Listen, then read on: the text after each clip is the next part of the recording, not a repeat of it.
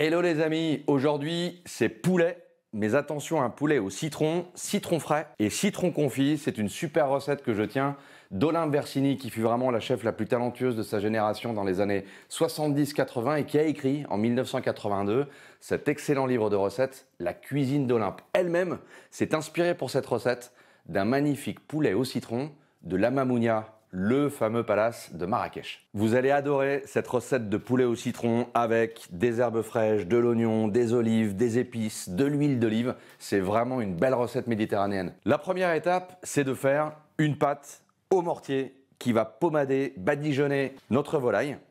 On va commencer par prendre un citron, on va zester ce citron, on met le zeste au cœur du mortier. Ce citron, évidemment, on en récupère le jus. Jus et zeste du citron, auquel j'ajoute une bonne pincée de gingembre moulu et une bonne pincée de filament de safran. Je vais ajouter des herbes fraîches, persil, coriandre. J'ajoute une cuillère à soupe de persil haché et une cuillère à soupe de coriandre fraîche hachée. J'ajoute une belle cuillère à soupe d'huile d'olive, quelques pincées de fleur de sel et je donne quelques tours de poivre du moulin. Je pilonne. J'obtiens un pesto assez liquide et super aromatique. Ça vient titiller mes narines, ça c'est bon signe, ça sent la Méditerranée et le Maroc. Avec notre pâte, notre espèce de pesto, eh bien on va procéder à un petit gommage à la marocaine. J'y vais avec les menottes et je badigeonne ma bestiole de cette pâte verte à l'huile d'olive. J'oublie pas aussi évidemment de badigeonner le coffre du poulet. J'ai bien réparti ma pâte. Je vais laisser mariner mon poulet pendant une demi-heure. Pendant que mon poulet marine, j'émince un oignon. À partir de là, tout va se passer au cœur d'une cocotte en fonte. Oui, parce qu'on va s'inspirer de la cuisson à l'étouffée dans un plat à tagine. Je mets un feu moyen. J'ajoute une bonne rasade d'huile d'olive. Je vais faire suer un oignon ciselé. Je fais cuire mes oignons jusqu'à ce qu'ils soient translucides, mais attention, je ne les colore pas. Une fois que mes oignons ont bien sué, je vais installer mon poulet sur le dos, dans ma cocotte. J'en profite pour récupérer le jus de ma marinade.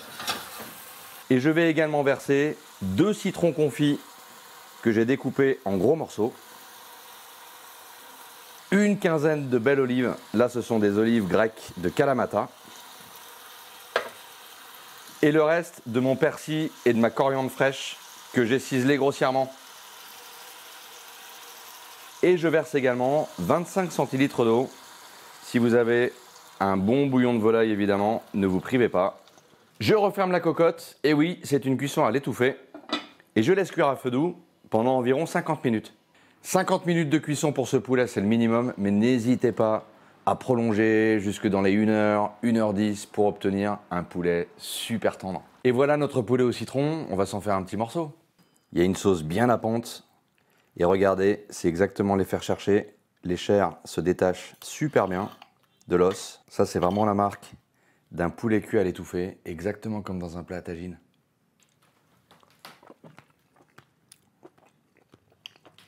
Hmm. On a évidemment la sensation du citron confit, un peu mordant, légèrement salé, qui a un goût très particulier, qui rappelle bien sûr la Méditerranée et le nord de l'Afrique. Et on a aussi le côté un tout petit peu électrique du jus de citron qui a légèrement caramélisé au fond de la casserole. Mmh. Petite note de safran, les olives délicieuses, avec ce poulet au citron d'Olympe. Vous allez tutoyer les dieux.